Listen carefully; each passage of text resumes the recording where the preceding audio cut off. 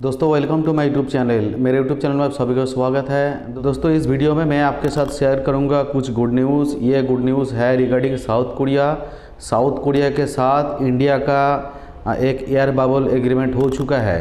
ये एयर बाबुल एग्रीमेंट क्या है और इसमें इंडियन को फ़ायदा क्या होगा और इसमें क्या क्या पॉजिटिव साइन है साउथ कोरिया वीज़ा का, ये सारा डिटेल्स जानने के लिए आप मेरा वीडियो को पूरा देखते रहिए। वीडियो को बिल्कुल स्किप मत कीजिएगा। अगर स्किप करेंगे तो आपको समझ में नहीं आएगा जो मैं आप लोगों को समझाना चाहता हूँ। दोस्तों, वीडियो स्टार्ट करने से पहले जो नया व्यूवर्स है मेरे चैनल में, मेरे चैनल को ज़रूर सब्सक्राइब कर लीजिए और पास में जो बेल आइकन उसको दबा दीजिए। तो दोस्तों, चलिए शुरू करते हैं आज का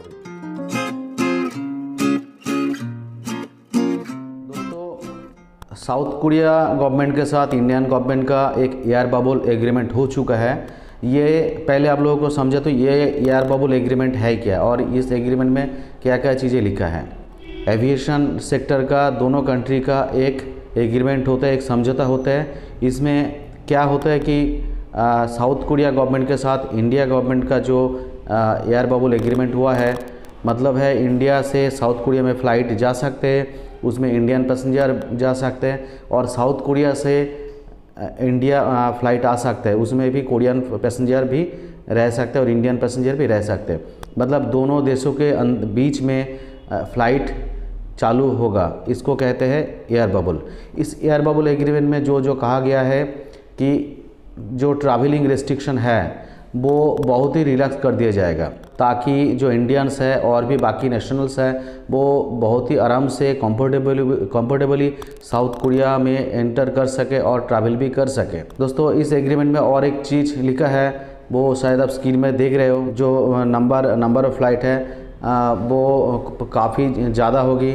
मतलब एक दो फ़्लाइट नहीं उससे ज़्यादा फ़्लाइट चलेगी जैसे दुबई और इंडिया के बीच में होते हैं और बहुत कुछ कंट्री के बीच में होते हैं कि सिर्फ़ एक एक फ़्लाइट चलता है ऐसा नहीं है।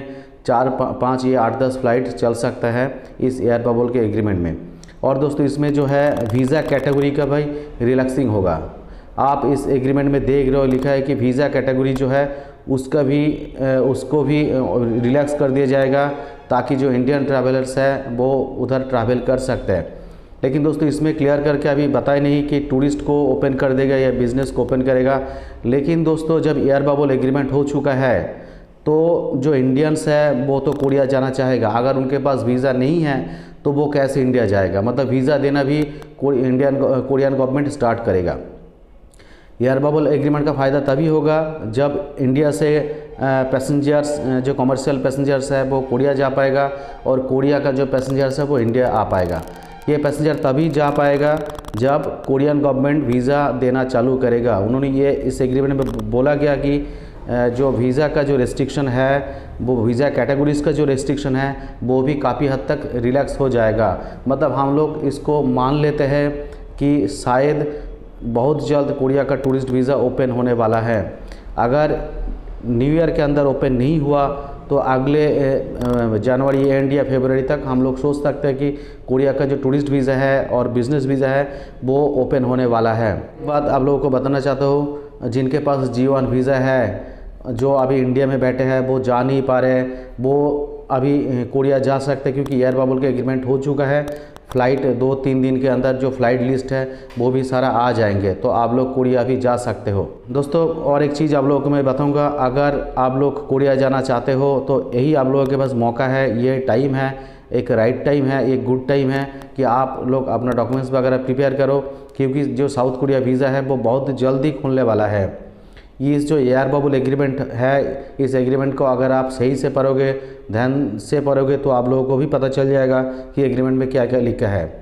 उन्होंने जो फ़्लाइट्स है, वो भी रिलैक्स करेगा, जो ट्रैवल रिस्ट्रिक्शन है, वो भी रिलैक्स करेगा, और जो वीज़ा कैटेगरी है, वो भी रिलैक्स करेगा। ये साफ़ साफ़ कोरियन गवर्नमेंट ने कह दिया है।